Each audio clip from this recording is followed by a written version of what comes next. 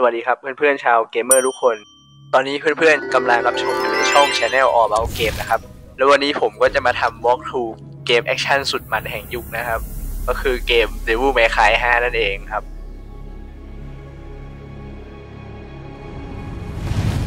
ก็ภาคนี้นะครับ จะเป็นเหตุการณ์ที่เกิดขึ้นหลังจาก 5 ปีในภาค 4 นะครับผม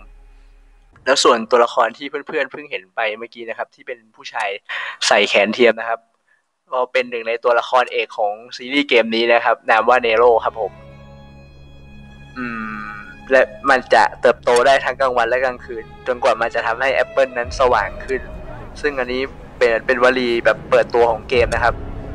ก็ต้องดูรอไปครับ แต่ว่าตอนนี้เหมือนในเมืองเนี่ยกำลังวุ่นวายน่าดูเลยนะครับ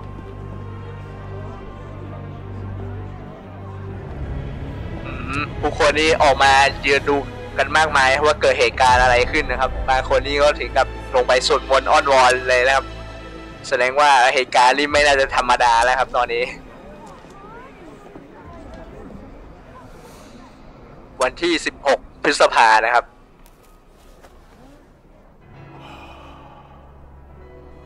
ก็ส่วนผู้ชายที่เห็นนะครับว่าเขาก็คือมอริสันนะครับ เป็นโบรกเกอร์จัดหางานปรับปีศาจให้ดันเต้นะครับ แต่ว่า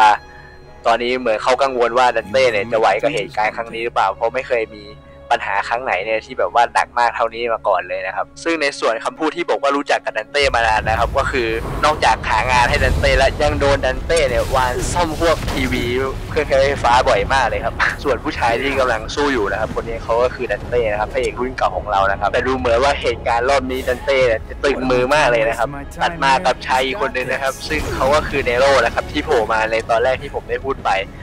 แล้ว ดูเหมือนว่าจะมีตัวละครใหม่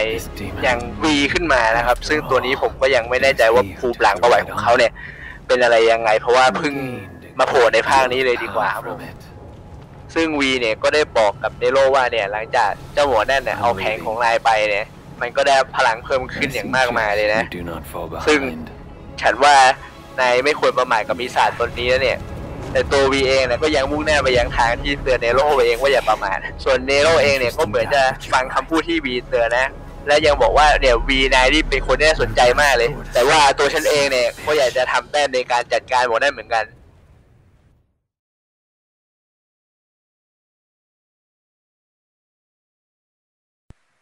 ก็ถ้าฟังจากน้ำเสียงของเนโรนะครับ ก็คือเขาน่าจะตามวีไปแน่นอนครับ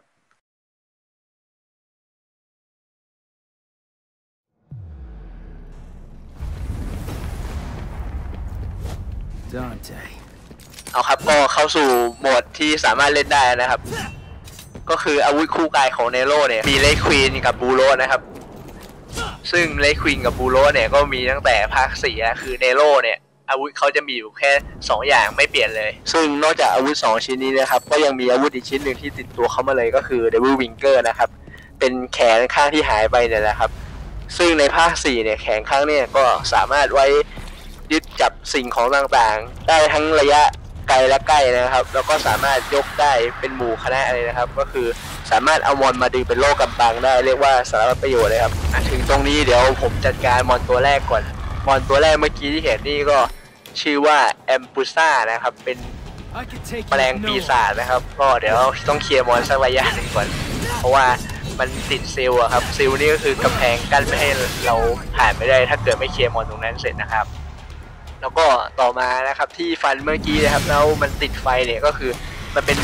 ดาบคันเร่งของ Red Queen นะครับความสามารถก็คือจังหวะที่เราตวัดดาบถ้าเกิดมันเร็วพอแล้วกดถูกจังหวะนะครับ ก็จะเก็บเกรดไว้ตีมอนต่อนะครับ ก็คือไฟเป็นไฟนั่นเองนะฮะส่วนบูโรนะครับปืนคู่กายของเนโรนะครับ ก็สามารถยิงได้ 2 นัดในครั้งเดียวนะครับ ก็คือตามที่แถบที่ชาร์จไว้ข้างบนแหละครับ ก็คือเราสามารถชาร์จได้เลยสังเกตนะครับกระสุนมันจะ มี2นัดต่อการชาร์จหนึ่งครั้งนั่นแหละครับ มันทำให้สามารถยิงมอนได้แบบแรงขึ้นด้วย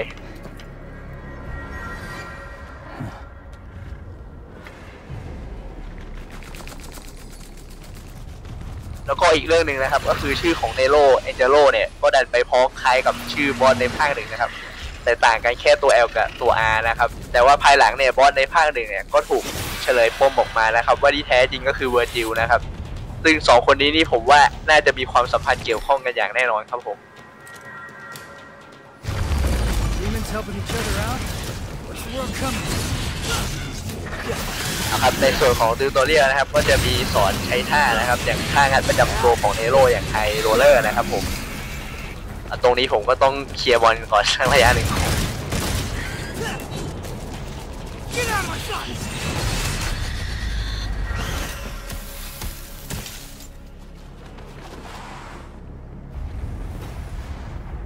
Hey, thought you took off. ในฉากนี้นะครับเนโรของเราเนี่ยก็ไล่ตามวีจนทันนะครับ แล้ววีเนี่ยก็ดูเหมือนเป็นห่วงเป็นใยเนโรมากเหลือเกินนะครับ ก็คือวีก็ได้บอกว่า เราจะไม่สามารถมีความหวังได้ถ้าปราศจากนายนะครับ แล้วกาตัวนั้นก็เลยแซวเนโรเป็นพ่อนักซุปเปอร์สตาร์อะไรอย่างนี้นะครับ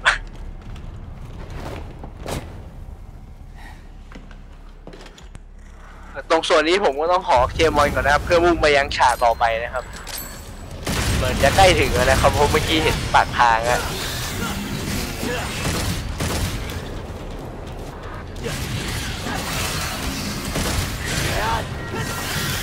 เ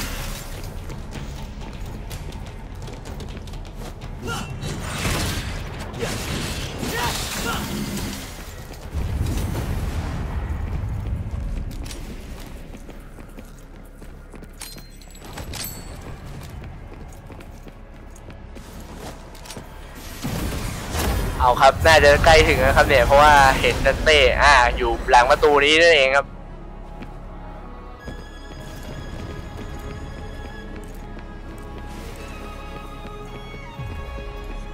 Hold on, Dante.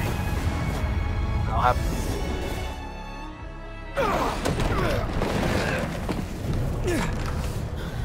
ดันเต้ก็กำลังแย่อยู่พอดีนะครับ เราก็มาได้ถูกจังหวะหรือเปล่า อั นนี้เป็นชิดแกลเลดี้นะครับ ซึ่งเป็นผู้ร่วมงานของดันเต้นะครับ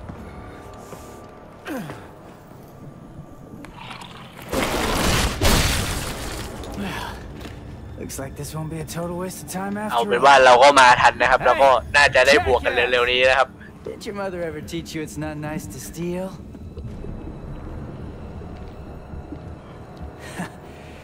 Sorry, Dante. I'm back in this bitch.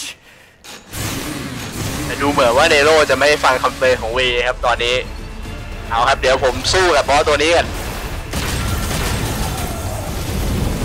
โอ้ยเดี๋ยวอืมอันนี้ไม่เสียเลือดนะครับ แต่ว่ามันเหมือนมันดีดเรากระเด็นออกไปนะครับอ้าวอุ้ยอ้าวเลือดไม่ลดนะครับเหมือนแบบว่ากิ้งหลบจังหวะหรือเปล่า แต่มันมีหยุดเวลาด้วยอ้าวโอ้ยิงลำแสงเดี๋ยวโดนไม่ทันคือเหมือนกิ้งหลบเนี่ยจะเป็นอมตะมากกว่านะ แต่ถ้าเกิดกระโดดเนี่ยโดนก็คือโดนอ่ากิ้งหลบดีกว่าครับอันนี้ก็ยิงลำแสงเหมือนยิงลำแสงลงพื้นนะครับนี่นี่อะไรลองฟันโอ้เหมือนต้องฟันผลึกอันนี้นะครับไม่แตกแต่ว่าก็ เข้ายากอยู่นะครับเพราะว่าบอสนี้ก็พยายามยิง skill โอ้ยโดนดีเลยครับคือโดน skill ทีหนึ่งนี่ดีดออกมาเลยแถมอันเลือดลดด้วยนะครับหายไปเยอะแล้วเหมือนกันครับเนี่ยครับถ้าเกิดเรากิ้งหลบจังหวะมันจะไม่เสียเลือดนะครับโอ้ยอันนี้โดนของอะไรเนี่ยโดนก่อนโอ้โห มันมีชิ่งกลับมานะครับอ้าวแพ้ไปตามระเบียบครับ แต่เมื่อกี้ผมตีมานี่เลือดแทบไม่ลดเลยนะหรือลดหรือเปล่าไม่รู้แต่ว่าเห็นว่าไม่ลดเลยนะมอนตัวนี้นี่ไม่ใช่มอนบอสเนี่ย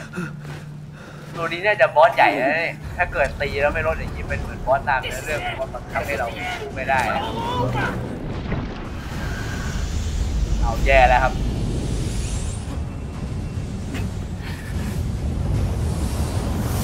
นี่ได้แต่ยืนมองอย่างเดียวเลยนะครับ Round two. อ้าวเดนเต้บอกยกสองนะครับผมอุ้ยรอบนี้แปลงร่างเลยครับเอาครับเดนเต้นี่น่าจะเอาจริงแล้วถ้าแปลงร่างขนาดนี้โอ้โหเหมือนจะเอาไม่อยู่นะครับ ขนาดแปลงร่างแล้วยังโดนเบรกง่ายๆเลยนะครับ แต่เต้บอกว่าให้รีบหนีไปจากที่นี่ครับถ้าอยู่ไปเนี่ยจะเป็นภาระเปล่าๆนะครับ แต่เนโรนี่ก็ยังพยายามอยากจะสู้นะครับวีนี่ก็พลังเลยครับ เพราะว่าถืออยู่ไปนี่ได้ตายเปล่าๆแน่นอนเลยเนโรบอกว่าก็แดนเต้บอกว่าเขาเนี่ยเป็นภาระนะครับ เขาก็เลยอยากจะเข้าไป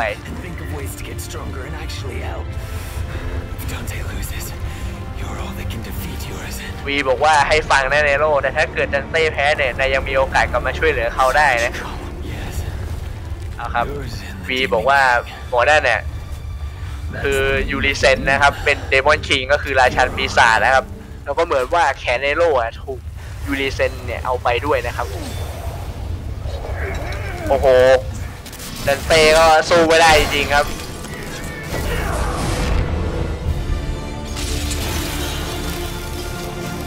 วีนี่เป็นตัวละครใหม่นะครับ แต่ว่าเหมือนจะรู้เรื่องราวต่างๆ เยอะนะครับ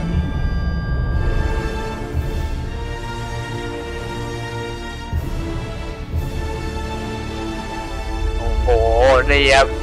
หน้าบอสเต็มเต็มๆเลยเดนเต้นี่ถึงขั้น เข้าได้เข้าเข็นแล้วครับงานนี้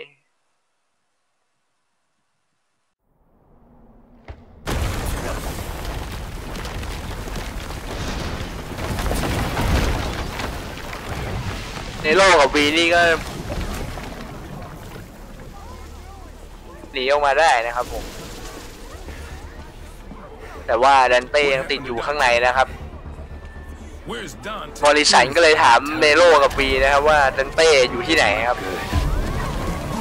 วีก็เลยตอบไปว่าเนี่ยดันเต้เนี่ยเขาพยายามซื้อเวลาให้พวกเราไว้ แล้วก็ดูเหมือนว่าท่าทางเขาจะไม่ค่อยดีเท่าไหร่แล้วแหละ Dante lost. บริษัทเองก็ยังไม่อยากจะเชื่อว่าดันเต้จะมาแพ้ได้นะครับ we can do. We must go.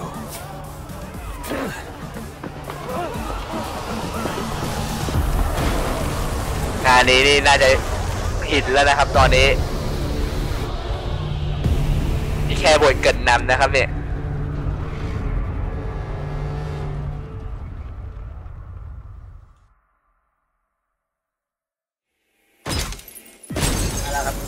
ไปแล้วครับสำหรับคนเกิดนำนะครับ ก็สรุปสกอร์ออกมาก็ได้แรงบีนะครับผมก็เดี๋ยวต่อไปก็น่าจะเป็นตอนที่หนึ่งแล้วครับเนี่ย เดี๋ยวผมจะรุยอันนี้อีกตอนหนึ่งแล้วกันนะครับ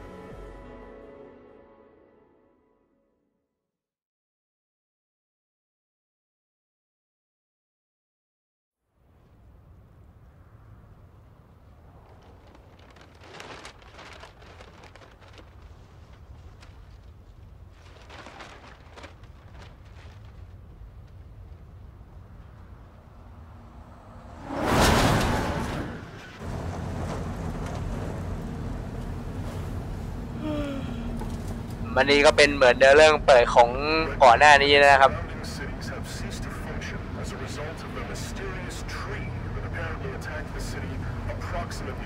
ก็มีข่าวว่าต้นไม้ปริศนาลึกลับนะครับ ได้โผล่ขึ้นในเมืองก็สร้างปัญหาวุ่นวายมากมายนะครับส่วนที่เห็นอยู่นี้นะครับก็คือนิโก้นะครับ เป็น partner ของเนโรนะครับผม อยู่ๆเนโรเนี่ยก็ถามกวนๆนะครับ ว่าเออรู้สึกยังไงกับการจากไปของคุณพ่อนะครับ he abandoned ที่ my ถูก mother สังหาร around โดย Mexico. ชายผู้หนึ่งนะครับ ซึ่งทางนิโก้เองก็ตอบว่าก็ดีนะเนี่ยเขาทิ้งแม่แล้วก็ทิ้งฉันออกมาเพื่อมาทิ้งชีวิตแท้ๆเลยเนี่ยแล้วนิโก้ก็พูดต่อไปว่า ก็ไม่รู้สึกอะไรเลยจากการจากไปของคุณพ่อเนี่ย ส่วนสาเหตุที่ถูกสังหารนะครับ โดยชายคนหนึ่งนะครับ ซึ่ง เนโรก็ไม่รู้ว่าทราบหรือเปล่าว่าเป็นฝีมือของดันเต้นะครับเพราะว่าช่วงที่ดันเต้ไปเอายามาโตะเนี่ยก็คือ route ของดันเต้สู้กับบอสอักนัทนะครับ ซึ่งเป็นพ่อของนิโคในภาคสี่ที่ลุ่มหลงในอำนาจนะครับทำให้ดันเต้ต้องทำการต่อสู้และสังหารไปในที่สุด แล้วจากนั้นก็นำยามาโตะที่ได้จากบอสนะครับอักนัทมาคืนให้กับเนโรนะครับทำให้เนโรเนี่ยอาจจะเข้าใจแล้วว่าใครเป็นคนสังหารนั่นเอง ซึ่งนอกจากนี้นะครับนิโคก็ยังมี ยายบุญธรรมนามว่า Nell Goldstein นะครับ ซึ่งก็เป็นครอบครัวนักประดิษฐ์เหมือนกัน พ่อของนิโคเนี่ยที่เป็นพ่อแท้ๆอย่าง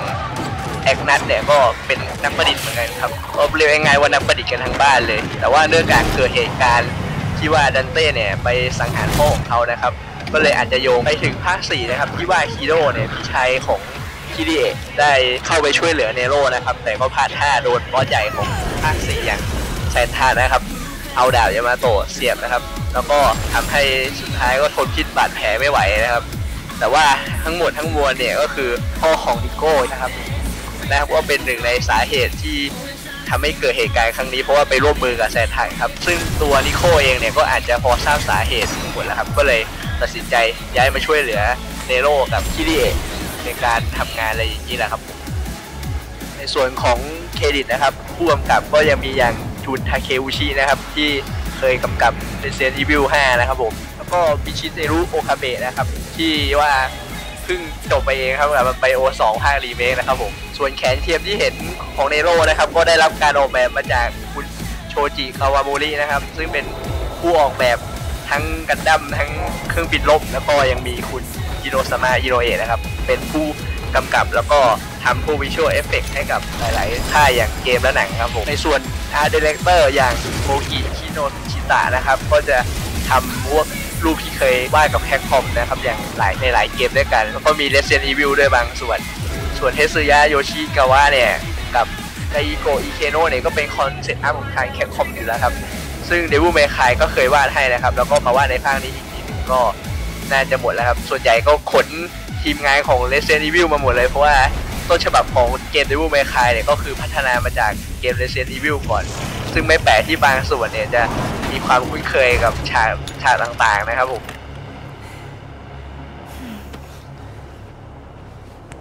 แต่ที่ผมชอบและเป็นจุดขายของลักษณะนิสัยของตัวละครเอกของเรื่อง Devil May Cry นะครับ ก็คือสองคนเนี้จะคล้ายกันก็คือไม่ชอบสูบบุหรี่หรือดื่มเหล้าอะไรอย่างนี้นะครับ แต่ของดันเต้เนี่ยก็หนักกว่าเนโร่นิดนึงนะครับ ก็คือจะเป็นคนที่แบบ ติดพิซซ่ากับของหวานอย่างไอติม strawberry sundae นะครับ ซึ่งก็ไปที่ไหนพี่แกก็สั่งเมนูนี้กินตลอดเลยนะครับผมในส่วนของเนโร่เนี่ยก็จะเป็นไครี่นะครับ ซึ่งเป็นนางเอกในภาคสี่นะครับ ที่เนโร่ชอบแล้วก็เหมือนว่าไครี่เนี่ยเองก็จะชอบเนโร่เหมือนกันนะครับ ก็หลักๆ เท่าที่พูดกันเกิดมาก็มีประมาณนี้แหละครับ ก็เดี๋ยวดูกันว่าภาคห้าเนี่ยจะมีอะไรยังไงต่อนะครับผม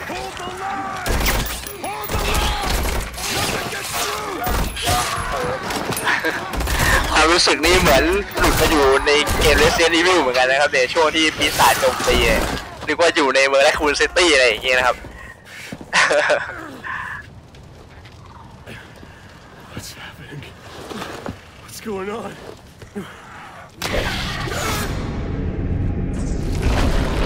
ก็เสน่ห์อย่างหนึ่งของเกมที่ไม่คล้ายก็คือไม่ควรควรของพระเอกแล้วก็บุกกล้องที่แอคชั่นมากนะครับ ซึ่งผมเล่นครั้งแรกก็เออก็เพลิดเพลินแล้วก็ติดใจไปกับเกมนี้นะครับ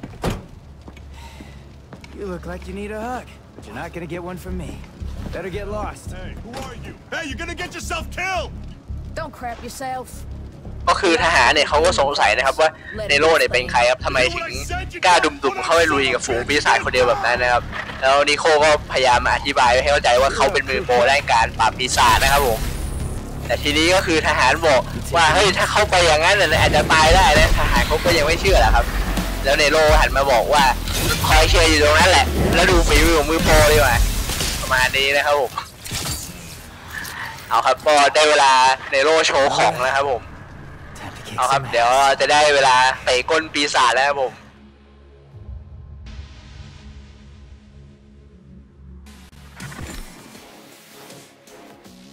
เอาล่ะ มาเดวิลเบรกเกอร์ I've got some กับ cleaning เบรก up. เอทนะครับ เอาครับ ก็เหมือนจะดึงได้นะครับ ใช้แรงแขนนั้นเก่าได้สะดวกเลยนะครับผมอุ้ยแต่บอลเยอะแล้วเนี่ย อ๋อคัดซีน ก็ว่าอยู่ทำไมมันดูเยอะ ก็คืออันนี้เป็นคัดซีนให้ตัวเอกอย่างเนโร่ของเราได้โชว์ออฟนะครับผมแต่มีขี่บอลด้วยนะครับเท่าที่สังเกต แต่ไม่รู้ว่าใช้งานจริงจะขี่ได้หรือเปล่าครับเพราะว่าในเกมก็ยังไม่ได้บอกปุ่มอะไรนะครับอ่าทีนี้ทหารนี่ก็เชื่อในสายตาแล้วครับว่าเขาเป็นมือโปรอย่างแท้จริงนะครับผมแต่ดูเหมือนว่าจะทำของพังหรือเปล่านะครับิโคก็เลยบอกจะว่าหัดใช้ให้มันดีๆหน่อยอะไรอย่างนี้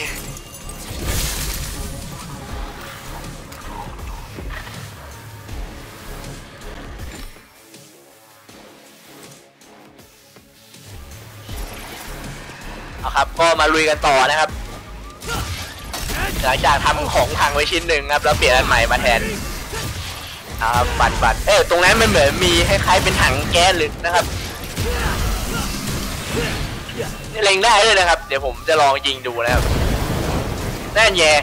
ก็อารมณ์เหมือน Resident Evil อะครับ มันก็จะมีถังแก๊สให้เรายิงนะครับซึ่งระเบิดก็แรงประมาณหนึงเลยดีกว่า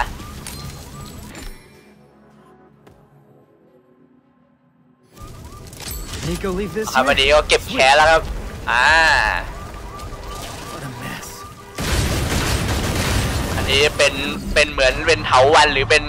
รากไม้สักอย่างหนึ่งนะครับอ๋อยิงแล้วจะได้ green orb นะครับ เอาไว้เพิ่มเลือด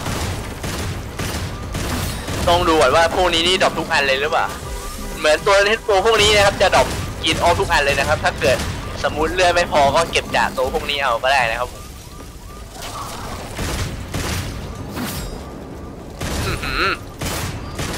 เฉียวไปนิดนึงครับ เกือบโดนนะครับผม โอเคครับ อ่าเข้าคาซีแล้วครับผม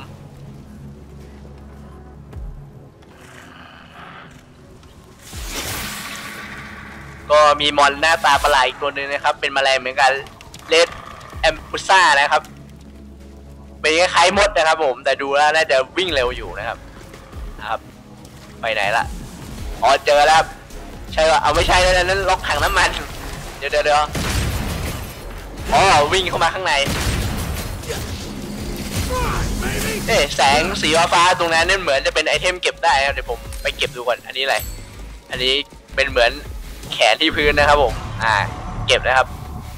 แต่ก็น่าแปลกนะครับ แขนเนโรนี่มันหล่นตามทางนะครับผม คือปกติแขนเทียมเนี่ยเขาควรจะเอาไปไอ้นี่ว่าเข้าศูนย์แล้วค่อยเอากลับมาซ่อมหรืออะไรอย่างเงี้ยแต่อันนี้เก็บได้จากตามทางนะครับ ก็แปลกดีเหมือนกันครับเอ้ยเดี๋ยว อันนี้เป็นแขน DLC นะครับ เดี๋ยวเดี๋ยวอ๋อ นี่เป็นแขน Rockman นะครับ ก็ถ้าเกิดคนที่ใช้คนที่เคยเล่นมาก่อนเนี่ยเขาก็น่าจะพอเดาออกนะครับ รูปทรงแปลกๆแบบนี้ครับอ๋อ Mega Buster นะครับอื้อหือยิงแรงเหมือนกันแล้วเนี่ยเดี๋ยวต้องลองใช้เลยครับท่ากระโดดนี่ก็ได้อารมณ์เกมนั้นอยู่เหมือนกันนะครับ นี่เอาใจแฟนๆเหมือนกันแล้วเนี่ย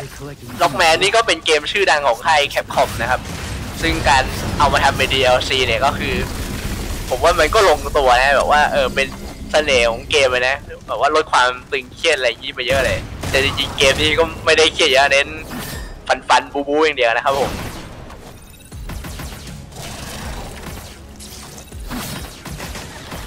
อ่า แต่เหมือนเล็งยากอยู่เหมือนกันนะครับ ต้องล็อกกดล็อกแล้วปล่อยนะครับ ไม่งั้นมันจะกลายเป็นว่าดึงเข้าหาศัตรูแทนนะครับ เดี๋ยวผมจะลองใช้ดูอ่านี่ล็อกกลับมายิงได้เลย คือกดล็อกปุ๊บแล้วก็พอตัวละครหันไปที่นั้นก็ยิงได้เลยนะครับ What a lovely house plant. เอาละครับ อันนี้ก็เหมือนจะเป็นบอสหรือเปล่าครับผม บอสตัวแรก เอ้ย บอสตัวที่สองของเกมครับผม ตัวแรกนี่สู้ไม่ได้ครับ ตีมาตั้งนาน Ah. Right. Who brought Ah. the marshmallows? Cause I'm bringing the บิ fire. ดคันเร่งจะบิดคันเร่งแล้วอ่าโอเคครับก็ถ้าใครมีไม้เบลโลก็เอามาให้ย่างได้เลยครับเนโรบอกเมื่อกี้นะครับผมเพราะว่าเขาจะใช้พลังของเอ็กซีแล้วครับผมแต่เดี๋ยว ผมขอยิงยิงดูก่อนทดสอบความแรงก็ถือว่าแรงนะครับ เดี๋ยวอันนี้มันทำอะไร Swing and a เอ้ยพี่พื้นที่พื้น เออออสไลด์นี่ก็เหมือนล็อกแมนอยู่นะครับผม อ่าเลยก็เป็นสีสันดีกว่าครับ อันนี้ ถ้าใครชอบก็น่าจะต้องซื้อ DLC นะครับ อันนี้ อ่า อะสไลด์ยิง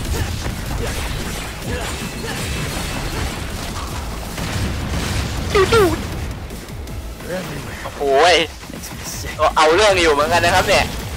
คือมันจะมีจังหวะให้เราเล็งนิดนึงครับ แบบว่าให้ให้เราเตรียมหลบนิดนึงนะครับ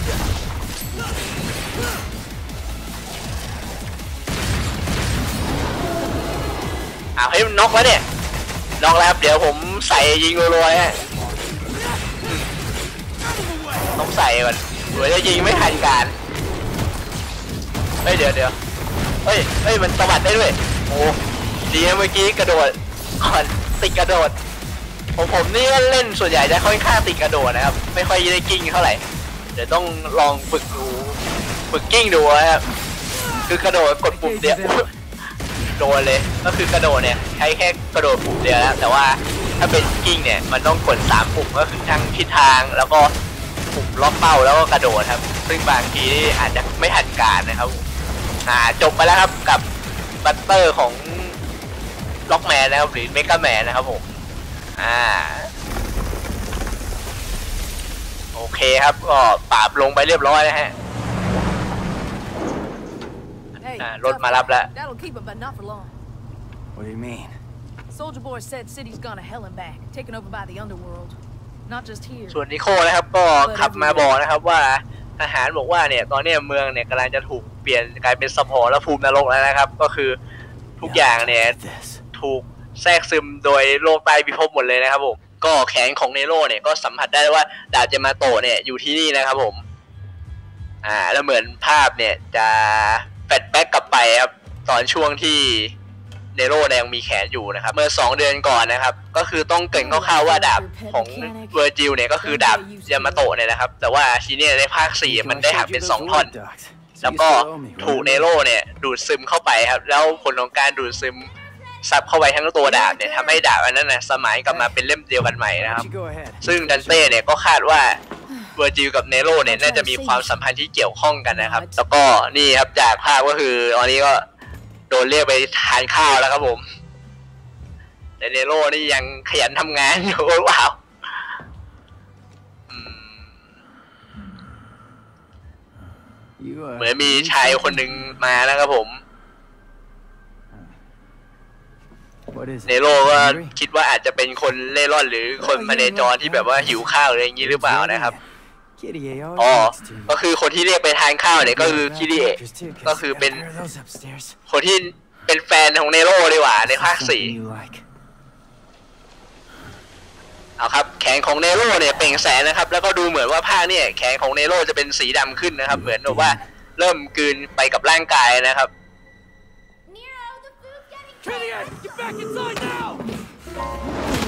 อ้าวเนโรนี่ก็หันไปห่วงแฟนนะครับ แต่ว่าสุดท้ายก็ประมาทนะครับ โดนดึงทีเดียวนี่ปิวเลยครับแล้วเหมือนอีกฝ่ายจะชิงแขนมานะครับผม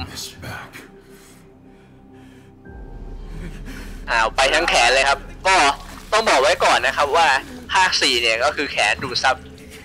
ยามาโตะเข้าไปนะครับ แต่ว่าทีเนี่ยก็คือเหมือนบอกว่ามันดูดซับเข้าไปนานและอาจจะรวมเป็นเนื้อเดียวกันแล้วก็ได้ครับระหว่างแขนกับดาบยามาโตะเนี่ยครับซึ่งก็ถ้าจำไม่ผิดจำได้ว่าบอสภาคสี่อย่างแซนทันก็สามารถดึงดาบยามาโตะออกมาจากแขนของเนโรได้นะครับ แต่ว่ารอบนี้นี่เหมือนอีกฝ่ายจะไม่รู้วิธีดึงหรือเปล่าเลยเอาไปทั้งแขนเลยเอาครับเนโรที่ไม่มีแขนนี่ก็ถึงกับลงไปซุดไปกองกับพื้นเลยครับแล้วนิโคก็บอกว่า ไม่อยู่แค่สองนาทีนี่เกิดเรื่องมากมายขนาดนี้เลยหรืออะไรแบบนี้นะครับผมเอาครับแล้วก็กลับมาปัจจุบันนะครับ He's waiting for us up เน ahead. โรก็บอกว่าวีเนี่ยรออยู่ข้างหน้านะครับ Way there. เหมือนว่ากำลังจะเดินทางไปหาวีกันนะครับทั้งคู่อ่า แล้วก็จบกันไปแล้วครับกับ mission หนึ่งนะครับ เรามาดูแต้มก่อน อ๋อได้ A นะครับ ก็ยังโอเคอยู่นะครับ ก็จบแล้วนะครับสำหรับ walk through ของเกมนี้ใน part หนึ่งนะครับ ก็ผมก็ได้เพิ่มเติมเสริมเนื้อหาที่ตัวเกมไม่ได้บอกไว้ แล้วก็อาจจะมีบอกไว้ในภาคก่อนๆเอามาขยายในภาคนี้อีกทีหนึ่งครับ เพื่อให้ทุกคนได้สนุกแล้วก็ติดตามกันได้นะครับ ก็อยากแนะนำหรืออะไรยังไงก็เม้นต์มาได้นะครับ ผมก็ขอบคุณมากครับที่ติดตามกันมาในพาร์ทแรกนะครับ ซึ่งผมก็จะพยายามปรับปรุงแล้วก็สู้ให้เต็มที่ครับผม ขอบคุณมากครับ All About Game ทุกเรื่องเกม รวมไว้ที่นี่